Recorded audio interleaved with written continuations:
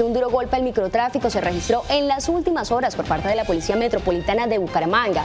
Se descubrió con ayuda de sus caninos antidroga una narcoencomienda. La incautación se realizó en una empresa de envíos y encomiendas.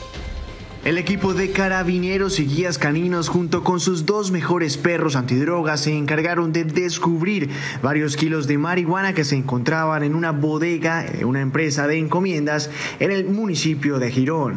Con el apoyo de los caninos Terry y Jorin, ubicaron dos cajas, las cuales contenían en su interior 16 kilos de marihuana.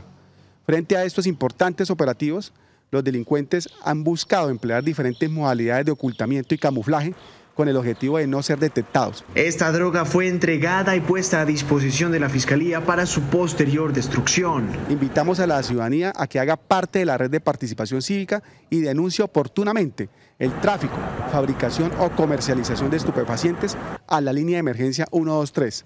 Entre todos seguiremos construyendo seguridad y convivencia. Este mes ya han sido varias incautaciones realizadas por este equipo experto en encontrar droga.